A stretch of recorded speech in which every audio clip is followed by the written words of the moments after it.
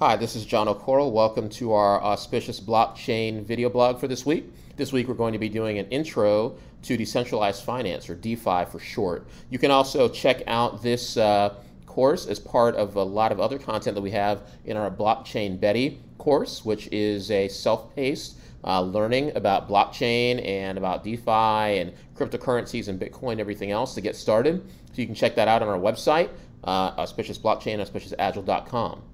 So let's get into it. What is DeFi? Well, here's a definition from the Coinbase website. DeFi is short for decentralized finance. DeFi is an umbrella term for peer to peer financial services on public blockchains, primarily Ethereum. Now, you're going to find also that this is also now we have a lot of other uh, blockchains that are providing DeFi. You get most of the banking services that you get in a traditional bank earning interest, borrowing, lending, buying insurance, trading derivatives, trading assets, and more. But it's faster. There's no paperwork or third party. You can do it directly yourself, and it is basically permissionless, meaning that you don't need to go and get somebody else's permission to do it, as with typically blockchains, open blockchains uh, as well. So this is something that we're going to get into a little bit more. And one of the things we're going to do is take a look first from the uh, some of the top projects that are out there. So we're going to jump into that. One of the top projects is Uniswap, and these are by Total Value Locked or TVL. So Uniswap, uh, one of the top for giving liquidity providing. We have Aave, which is a really big project for lending. Uh, we have Compound Finance and Pancake Swap, which is on the Binance Smart Chain. We have Oasis app as well as Wrap BTC, which is very interesting. Wrap BTC actually allows you to use Bitcoin on the Ethereum network. We have Curve Finance and Convex Finance, which work closely together actually. We have Yearn Finance and Sushi Swap. And for Curve and Convex, that's part of the reason probably they're very close in total value locked.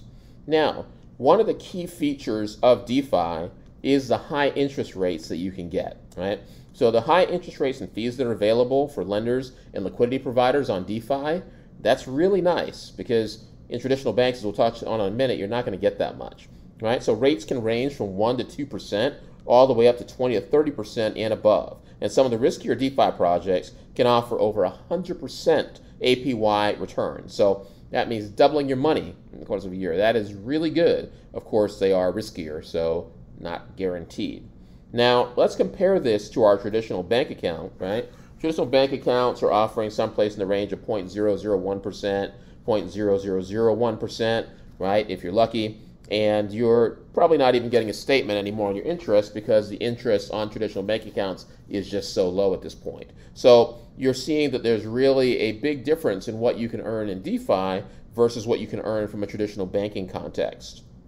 Now, another key feature of DeFi is that you retain control of your own funds, right? So you don't have to hand your funds over like you would in a banking or traditional finance context. You keep your funds in your own wallet and you're able to connect your wallet to a different DeFi platforms like Uniswap or Aave, and then you're able to go ahead and lend and provide liquidity and make those returns, but you still control your own coins and tokens uh, on the different blockchains, which is great because you don't have to ask anybody's permission when you want to take it back. You can just go ahead and take it right back and put it right back, and it stays right there in your wallet. So, really good in terms of controlling your own funds. And another aspect is that um, we'll talk a little bit about some of one of our recent meetups actually, where we went through and we were looking at some of the different projects. These are a little more unique ones, a little more risky ones.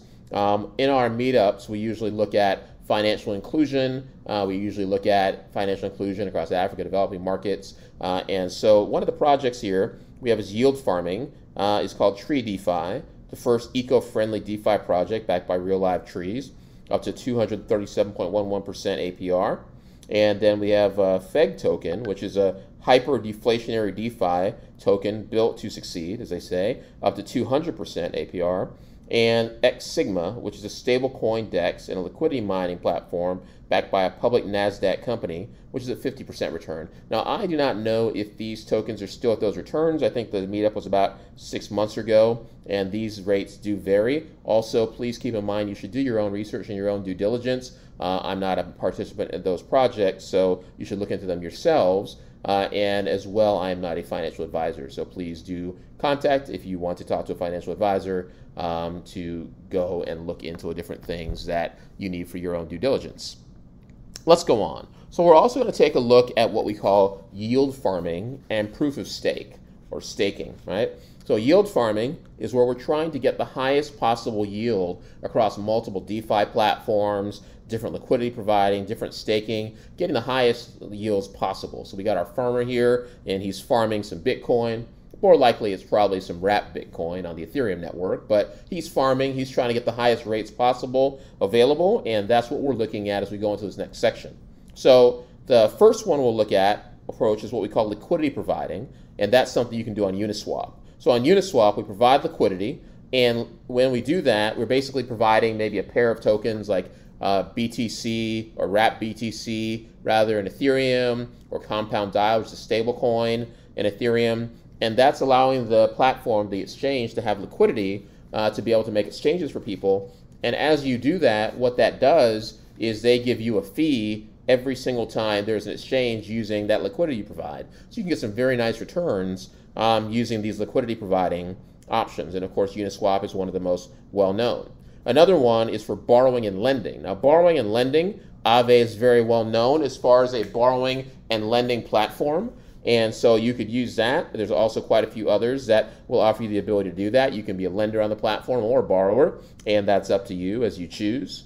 Leverage lending is another one. It's a little more rare, it's not as common, but leverage lending is something you can do. One project that uh, I'm aware of is Vee Finance, uh, which is on the Avalanche blockchain. The Avalanche blockchain has been doing really well. I haven't looked into the latest updates on this Vee Finance um, plat- DeFi uh, platform, but uh, hopefully, as the Avalanche tokens been doing well, hopefully that's also proceeding well.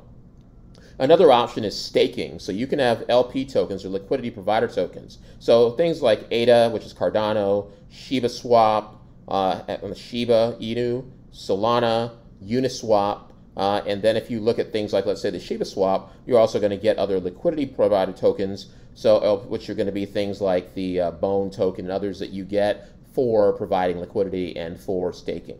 Now, there are also tokens that pay a redistribution fee. I won't go deeply into those, but that's another option that allows you to get uh, some returns as well. So, at any rate, the Blockchain Betty course, check that out if you want to see this full lesson as well as other lessons that we have on introduction to blockchain and crypto and investing in crypto and DeFi. You can find that on auspiciousblockchain.com or auspiciousagile.com. So, as always, we say at the end of these videos, stay agile, and thanks for listening, and we'll see you next time.